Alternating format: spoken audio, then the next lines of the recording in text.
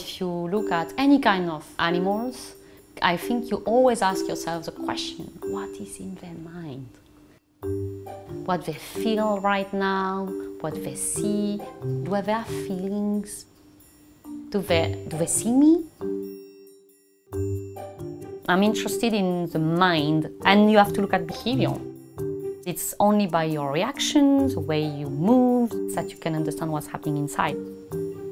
It's quite challenging when you are facing a single cell organism it doesn't have any brains.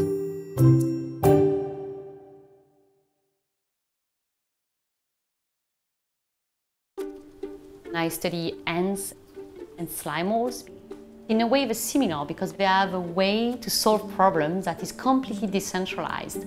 Ants have a collective intelligence and slime molds do not have a brain, so they're very different than us. So the way they solve problems fascinates me.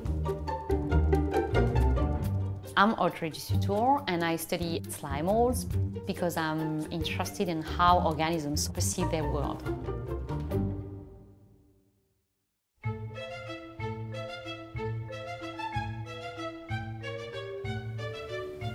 So I come from a big family, lots of kids. So my mom would always send us outside to explore the world because she didn't want us to be around, I think. And so when you live in a countryside, the only thing that you can play with is environment. So I was always collecting insects, or I always had a lot of animals at home, hedgehogs or guinea pigs, rabbits, whatever. Everything I could find, I wanted to adopt it.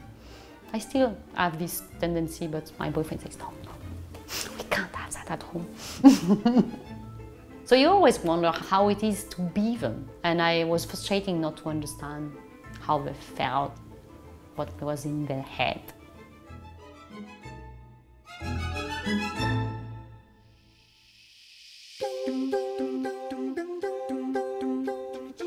So slime mold are kind of ancient organism.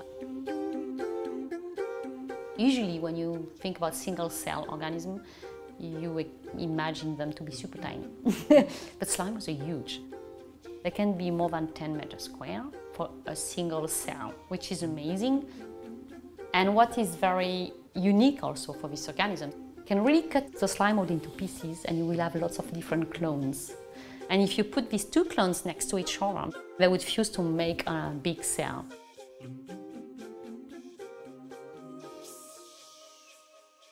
They move super slow, like half a centimeter per hour.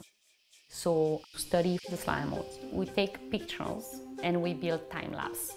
So you have a one and a half minute movie, uh, but in fact it lasts 24 hours.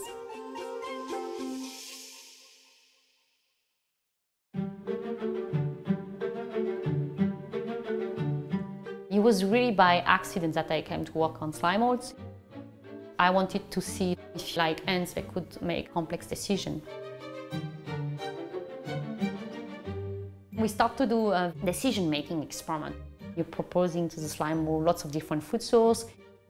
They would straight away go to the one that maximizes their survival. They would never make a mistake. Slime molds were better than ants, and in fact, they are better than us at solving nutritional problems.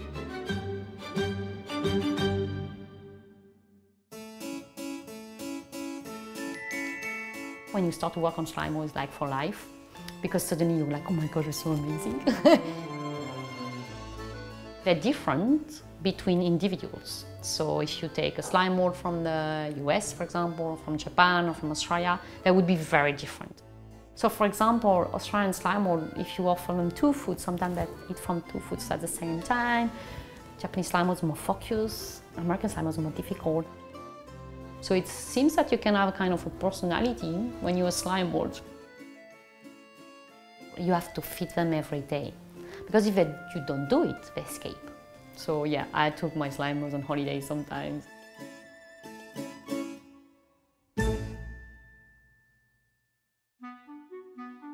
We decided to train the slime molds. But at the beginning we did it wrong because we got inspiration from experiment in insects. So of course it was a complete fail because I didn't put myself in place of a slime mold. I think sometimes to better understand the behavior, you have to try to think what is it to be this organism. So I stop and I say, okay, think. What is a slime mold doing in this environment? You have to imagine yourself without central thinking, without, without sounds. We have a, a world with colors, they have a world of smells. If you look at slime mold, it's always going forward. So I say, okay, what if I put something in his path that he has to go through if he wants to eat? And do it again and again and again until he learns to ignore this substance. This is called habituation. It's the simplest form of learning. Slime mold, they don't like a lot of stuff. So they don't like uh, caffeine, they don't like salt, they don't like the kind of bitter substance called quinine. So we tried with salt, caffeine and quinine and it worked each time perfectly. With caffeine, for example, he would say, okay, I'm going to stay here. I taste, no, I don't like it, I don't like it. I, don't, I taste it, I don't like it. And suddenly he goes super fast.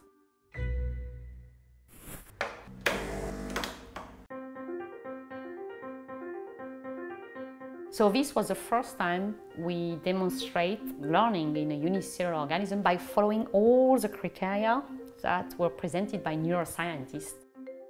But we didn't stop there because slime molds have something that animals don't have. They can fuse with each other. So we were like, okay, can you train another slime mold by fusion? In total, we trained more than 2,000 slime molds. We put them together, a naive one and a habituated one, and we let them fuse.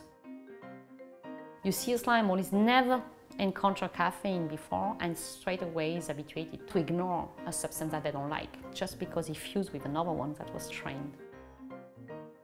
You could see that information could go from one to, uh, to until four slime molds. So it was quite an amazing um, discovery too. It's not just they can learn, but they can also teach others. We discover how slime was habituated to salt. It was just because he's swallowing the salt. So we were able to inject, in fact, a memory in the slime mold just by adding the repellent itself.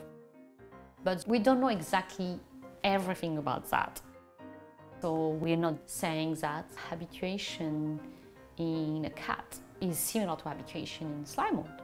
It's just the behavior is the same, but the mechanism might be different. Still interesting to see that cognition is not restricted to animals.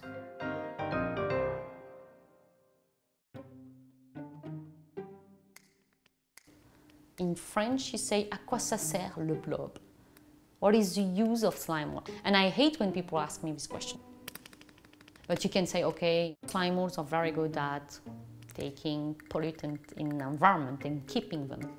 People are using slime molds also to model cancer. So there's lots of uh, potential application for slime molds. But I will be very honest, it's not what drives me at all. For me, it's more about general knowledge. There are more interesting questions than very useful for us.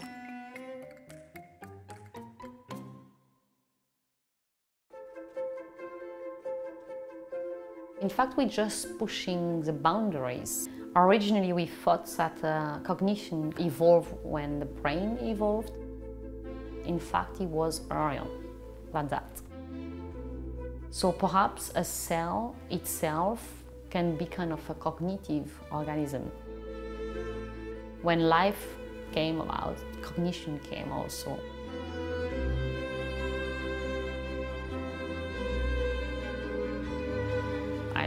Face my organism with problems, challenges, and I see how they solve it, but it always opens a new question because you say, oh my God, why did they do that?